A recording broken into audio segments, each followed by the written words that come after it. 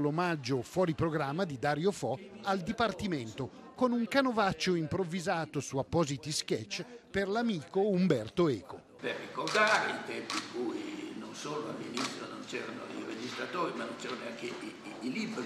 Il Fondo Young, che di giochi se ne intende, collabora allo svolgimento in aula magna grazie alla biblioteca universitaria. Giochi di memoria all'Ateneo Sammarinese, Umberto Eco parla di memoria dell'oca.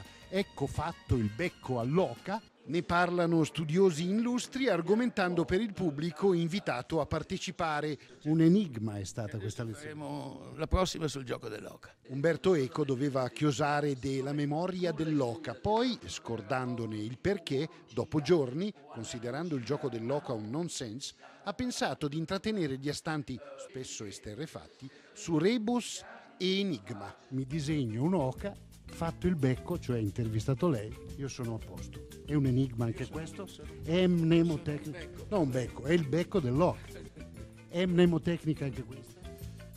Ma è molto idiosincratica, ma in un, ehm, in un asilo per alienati potrebbero prenderla sul serio. L'incipit di Eco è Il nodo al fazzoletto, un gioco di memoria che il modesto cronista smemorato, ahimè, non sa più che cosa evoca.